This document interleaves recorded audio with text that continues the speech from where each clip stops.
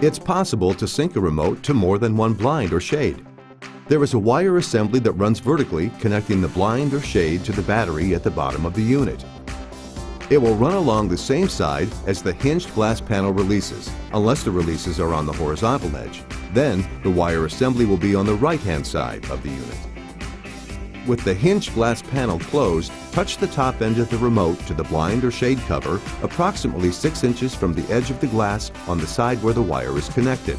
Slowly move the remote back and forth until the blind makes a quick up and down motion to indicate it has entered sync mode. To add a new remote, press and hold the up button on the new remote until the blind or shade makes another quick up and down motion to acknowledge that the new remote was successfully synced. You can now activate the next shade or blind by repeating the steps of moving the remote back and forth approximately 6 inches from the edge of the glass until the blind shows it has entered sync mode with a quick up and down motion. Now press and hold the up button on the remote until the blind or shade makes another quick up and down motion to acknowledge that the new remote was successfully synced. Repeat this process until the remote is synced to all blinds or shades that you would like to control as a group.